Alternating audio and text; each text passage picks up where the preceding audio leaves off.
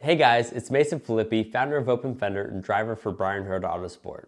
We have a quick announcement and wanted to let you know of a new partnership we have with Spot Network. Spot Network is helping privateers raise money for Supercross this year. We're really excited for this initiative at Open Fender.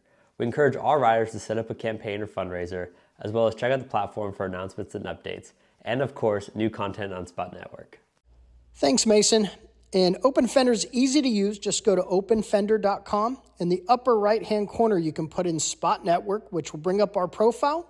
When you first go to that screen, you'll see a boost button, uh, which will make it to where you can donate as little as $10 um, towards this privateer fund, or you can go to an individual race and pay for an entire entry um, for that race. So, again, super easy to use. Um, we'll have some new features and updates on this soon but hope you guys look at this as an option to support some of your favorite riders.